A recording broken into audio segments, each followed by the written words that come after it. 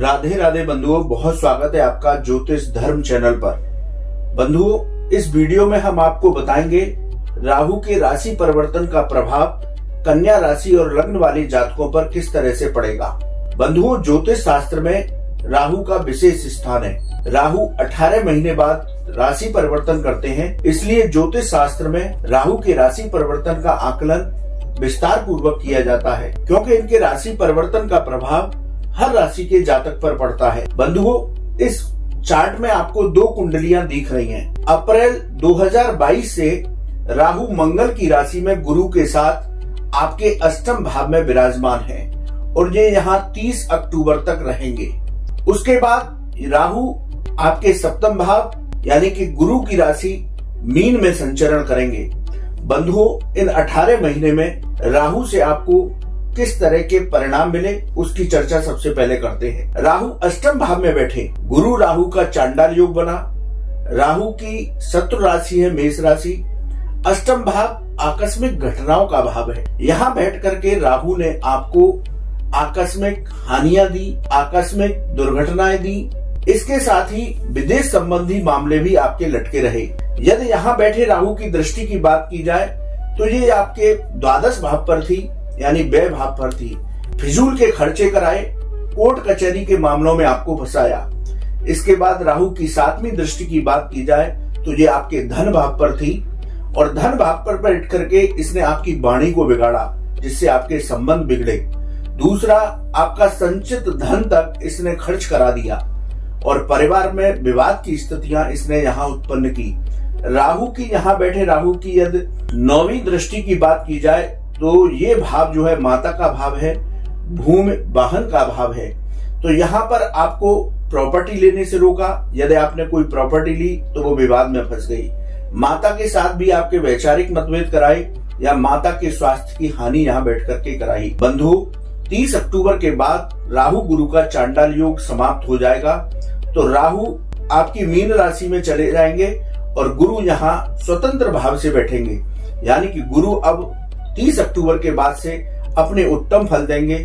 यानी कि गुरु के फल आपको यदि व्यय भाव पर देखा जाए तो आपको लाभ प्राप्त होगा। विदेश संबंधी सारे मामले आपके अटके हुए बनने लगेंगे। यहाँ पर आपको लाभ कराएँगे। इसी के साथ माता के स्वास्थ्य का भी ध्यान रखेंगे। बात करते हैं 30 अक्टूबर के बाद राहु आपके सप्तम भाव में होंगे। सप्तम भाव आपके गृहस्थ जीवन का भाव है। आपके व्यापार का भाव है और व्यापारिक साझेदारियों का भाव है। तो सबसे पहले चर्चा करते हैं राहु के सप्तम भाव में बैठने का आपको क्या फल प्राप्त होगा। बंधुओं यहाँ बैठ करके राहु व्यापार में आर्थिक लाभ आपको कराएँगे। व्यापार में हो रहे पिछले 18 महीने से फालतू के खर्चों को रोकेंगे। तो व्यापार में यहाँ पर बैठ करके राहु आपकी आर्थिक स्थिति को मज़बूत करने वाले होंगे। व्यापार में आपको लाभ के अवसर प्राप्त होंगे। यदि गृहस्थ जीवन की बात की जाए तो इसको आपको संभाल के रखना होगा। यहाँ बैठ कर के राहु आपके गृहस्थ जीवन को बिगाड़ने की कोशिश करते हैं। तो आप अपने पत्नी के साथ वैचारिक मतभेद या वाद विवाद की स्थिति से बचने की कोशिश करें, ऐसी स्थिति न बनने दें। यदि यहाँ बैठे राहु की व्यापार में साझेदारी की बात करें तो यदि आप कोई नई साझेदारी करने जा रहे हैं तो बहुत सोच विचार करके निर्णय लें। और उसके बाद ही किसी साझेदारी की तरफ़ आगे बढ़े। यदि आपकी कोई साझेदारी पहले से चल रही है तो उस साझेदार के साथ भी विवाद की स्थितियों से बचने का प्रयास करें। बंधु, आपको बता दें कि राहु मायावी ग्रह है छाया ग्रह है। राहु अचानक से बहुत कुछ करते हैं, यानी अचानक से लाभ देने वाले होते हैं, अचानक से ही आपके लाभों को बिगाड़ने वाले होते हैं। तो आपसे शुरू से ही हम कह के चलेंगे कि आप कोई भी काम करने जाएँ इस 18 महीने में तो आप पहले सोच विचार लें, उसके बाद आगे कदम बढ़ाएँ। यदि राहु की पंचम दृष्टि की बात की जाए तो पंचम दृष्टि आपके लाभ भार पर होगी। तो यहाँ बैठ करके राहु आपके एकादश भाव को देखेंगे, लाभ भाव को तो आपकी आर्थिक स्थिति को मज़बूत करेंगे। लंबे समय के लिए आप कोई निवेश व्यापार में करते हैं तो उससे आपको लाभ प्राप्त होगा। नौकरी में आपको वेतन वृद्धि के साथ पदोन्नति होगी। व्यापार में यदि कोई बदलाव इस दरमियान करना चाहते हैं तो सोच समझ करके निर्णय लें। और इसके साथ ही जो लोग स्टॉक मार्केट या शेयर बाज़ार में निवेश करते हैं तो वो पहले मार्केट की स्थिति को समझें, उसके बाद ही सोच समझ करके निवेश करें तो आपको लाभ होगा। बंधुओं, अब राहु की सप्तम दृष्टि की बात करते हैं। ये मन और व्यक्तित्व है। तो यहाँ बैठ करके, यानी राहु की सीधी दृष्टि आपके प्रथम भाव पर होगी तो यहाँ पर दृष्टि डाल करके राहु भ्रम पैदा करते हैं मन में।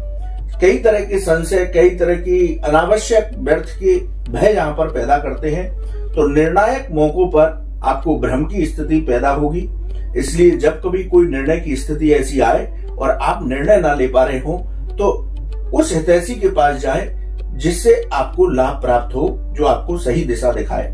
नौकरी या व्यापार में कोई बदलाव कर रहे हैं तो वहाँ भी आप सोच समझ करके ही आगे बढ़े, देख लें कि यदि मैं नौकरी में परिवर्तन कर रहा हूँ तो किस तरह के लाभ हैं, जहाँ पहले से हूँ, वो अच्छा है या नया परिवर्तन अच्छा होगा। अज्ञात भय आपको यहाँ बैठ करके आपके मन पर राहु देंगे। व्यर्थ के बाद विवाद से आपको बचने की आवश्यकता रहेगी। मानसिक शांति बनाए रखेंगे तो राहु के फल आपको उत्तम प्राप्त होंगे। बंधुओं, अब बात करते हैं राहु की नौवीं दृष्टि, यानी कि आपके पराक्रम भाव पर होगी, छोटे भाई बहनों के, छोटी यात्राओं के भाव पर होगी। यहाँ से दृष्टि डालकर राहु आपके पराक्रम भाव में वृद्धि करेंगे, क्योंकि ये मंगल की राशि है। यहाँ से शनि का भी दृष्टि संबंध आपके पराक्रम भाव से हो रहा है। तो इन 18 महीने में आपका पराक्रम अद्भुत देखने लायक होगा। जॉब में प्रमोशन हो सकता है। मित्रों के साथ भी राहु यहाँ सामंजस्य बनाएँगे। लंबी दूरी की यात्राएँ हो सकती हैं, लेकिन आपको थोड़ा सा यात्राओं के दौरान अपने स्वास्थ्य को संभाल करके रखना होगा। तो बंधुओं, पिछले 18 महीने में आपने जो कष्ट यहाँ पर भोगे हैं, अब उन कुष्टों से निकल करके आगे बढ़ने का समय आ गया है। राहु का राशि परिवर्तन कन्या राशि और लग्न वालों के लिए बहुत अच्छे परिणाम देने वाला होगा। अब कुछ उपाय के ज़रिए आप इस लाभ को और अधिक अपने लिए लाभकारी बना सकते हैं। इसलिए कन्या राशि और लग्न वाले लोग सूर्य देव को अर्घ प्रदान करें प्रतिदिन। महामृत्युंजय मंत्र का जप करें। गाय को हरा चारा खिलाएँगे तो आपको राहु की राशि परिवर्तन के बहुत अच्छे परिणाम दिखाई देंगे।